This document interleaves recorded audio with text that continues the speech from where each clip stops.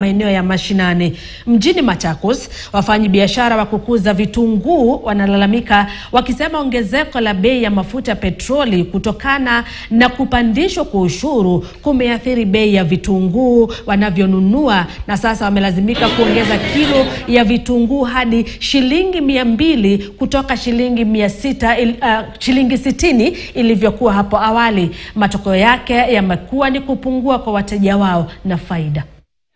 Polepole, tembee tu polepole.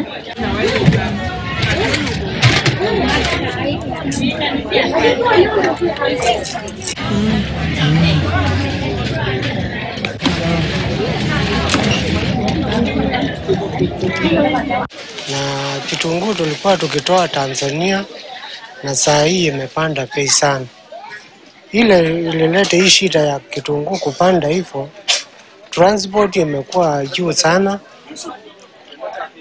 Eh, mahali zinatoka hakuna wa kupanda kitunguu, alipanda mahindi, ndio hiyo bei ikapanda juu zaidi. Tanzania ndio wanalima kitunguu sana kuliko Kenya. Hapa Kenya kitunguu sio nyingi, haiwezi sustain ile demand ya Wakenya.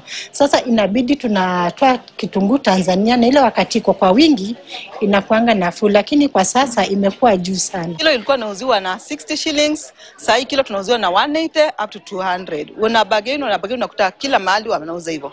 Kitunguu ilikuwa kwa kila mahali, ulikuwa unaipata hata hapo kwa kiosk, lakini saa hii kitunguu unaipata tu kwa main stores. Balozi wa amani kaunti ya Turkana Daktari Malcolm Olo